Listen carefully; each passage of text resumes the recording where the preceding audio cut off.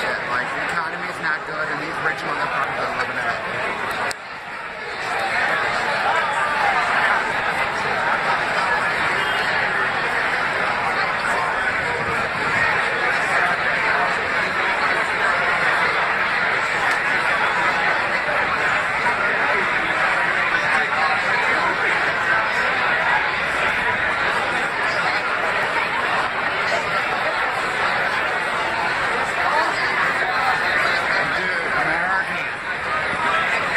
party's over, motherfuckers.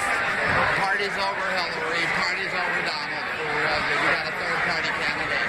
Like, who are you people going to trust with in America? Here, the.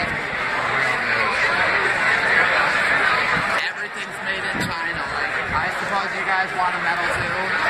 Like, for real? Vote for Terry 2016 America. Like, I'm fucking finished with you people for real, dude. You know what to do. Write it on your fucking ballot for real, dude.